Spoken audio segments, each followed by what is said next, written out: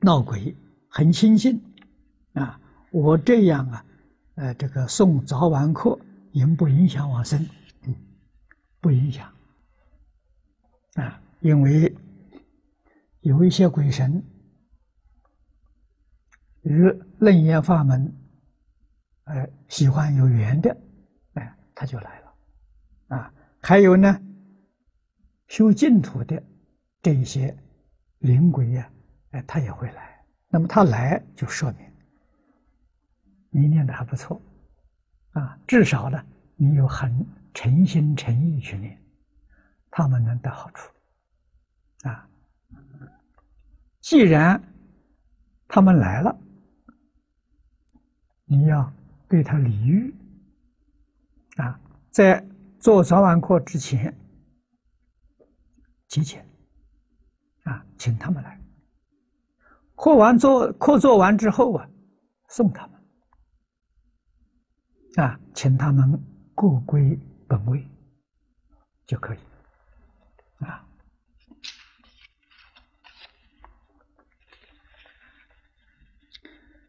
下面一个问题，他说我的母亲是站着往生的，当时他老人家没有往生，先是他的一个神识。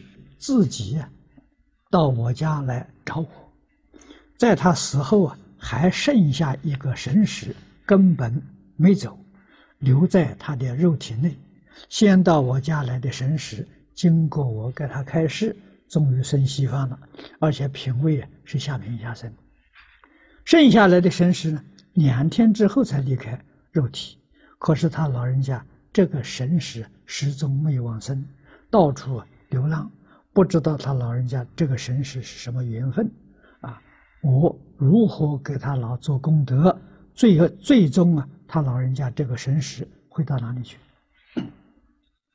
那么这个跟前面的问题一样，一切有情众生，你要记住，只有一个神识，啊，没有两个神识道理，啊，这个佛在大乘经里面讲的很清楚。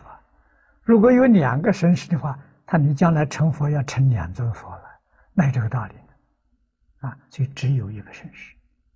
如果遇到另外一个神识，就是附在他身上的，不是他的神识，啊，那么非常可能就是这个附在他身上的这个人先走的时候，他是完成隔了两天之后啊，才走的时候。这是他自己的身世。啊，附身不能说他的神识已经离开了，他还附身，没这个道理。啊，所以这个要晓得。啊，附身的这个身世，呃，往生。啊，他自己没有往生。啊，你应当 常常啊，啊，这个最好是给他。供一个往生牌位，啊，早晚功课的时候都给他回向。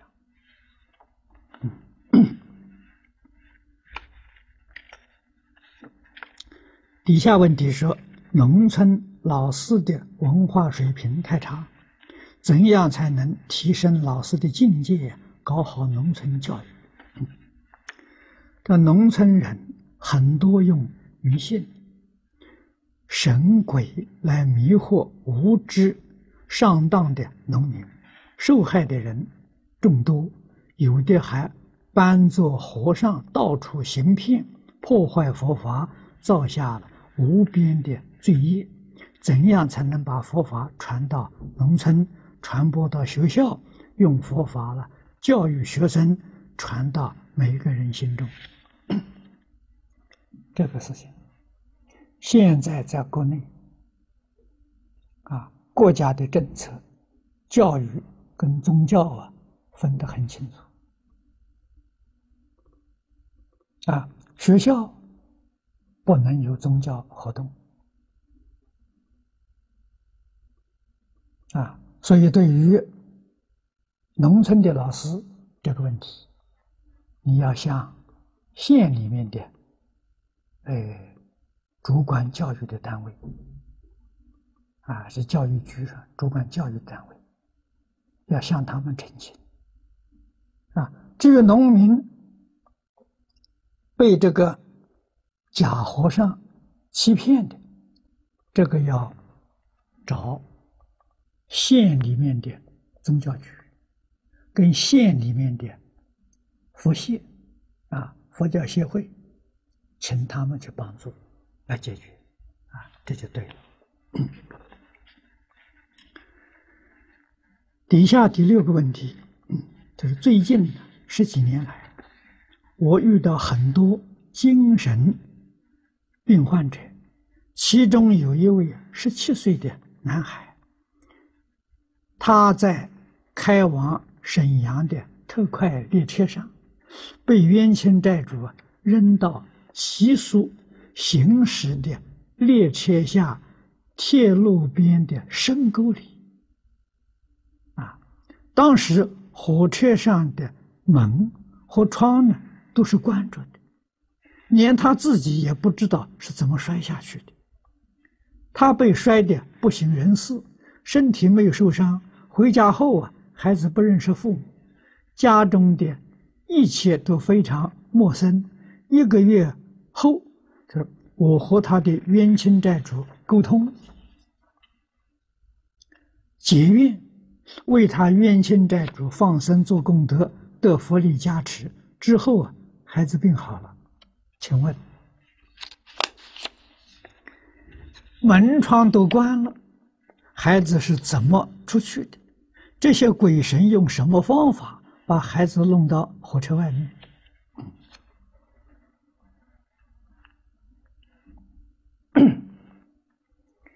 这桩事情。鬼神的空间跟我们人的空间不一样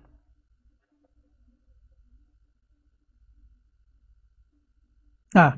那么这个孩子跟这个鬼神呢，决定是有关系啊，前世有关系。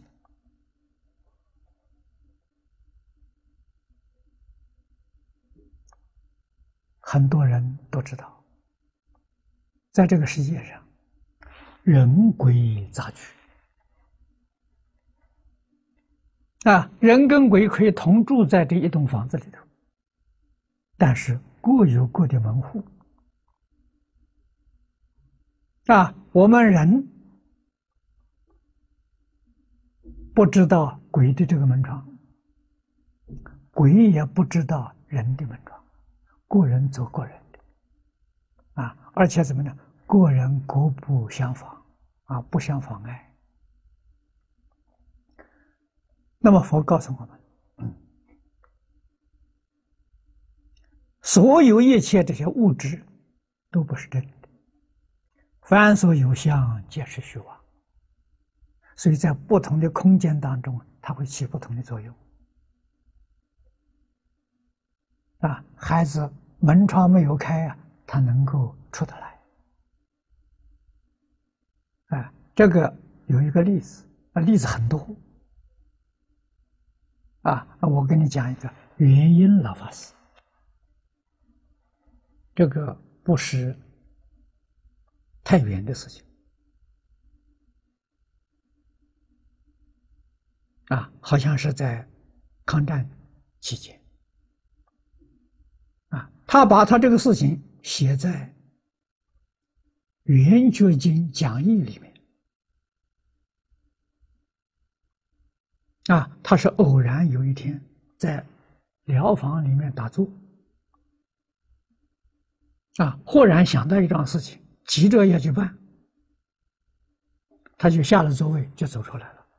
走出来之后，他忽然想到，哎，我的房门是关的，我好像没有开门，我怎么就怎么出来了？回头一看呢？他门真的是关的啊！证明啊，佛给我们讲的这个这个物质不是真的啊，这个墙门不是真的啊。当你在一念不生的时候，没有妄念的时候，它就可以通过。啊，为什么会挡住你呢？因为你起了这个念头啊，你有这个念头。